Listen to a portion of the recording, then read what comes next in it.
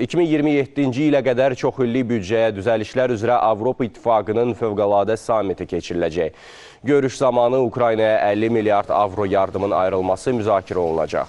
Bunu Avropa Şurasının rəhbəri Şarl Mişel deyib. Dekabrın 14-15-də keçirilən samitdə Avropa İttifaqı liderləri Ukraynaya 2027-ci ilə qədər 50 milyard avroluq yardım proqramını formalaşdırmaq üçün çoxillik büdcə və qurum ölkələrinin əlavə tövfələri ilə bağlı razılığa gəlməyiblər.